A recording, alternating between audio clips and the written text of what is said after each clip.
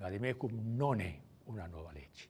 Il vademecum è un aiuto che riprende le disposizioni vigenti in un modo pedagogico, speriamo, in un modo chiaro, per aiutare i vescovi, i superiori religiosi che si devono confrontare con casi di abusi di minore. Tante volte ci chiedono cosa faccio, cosa devo fare.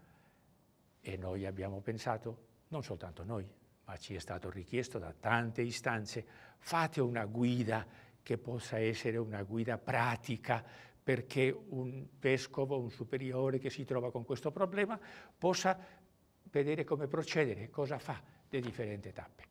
Naturalmente anche le diverse conferenze episcopali hanno stabilito delle linee guide perché sono molte cose che è molto difficile legislare a livello universale?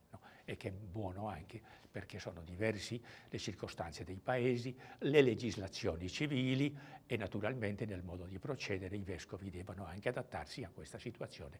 No, ma questo è il vademecum. In concreto, eh, quando si fu nel mese di febbraio dell'anno scorso un raduno qui, l'aula del Sinodo qui vicino a noi, un raduno sul problema degli abusi con i presidenti delle conferenze episcopali, viene, venne fuori, venne fuori questo desiderio che ci sia un aiuto, una cosa pratica ed è quello che abbiamo cercato di fare.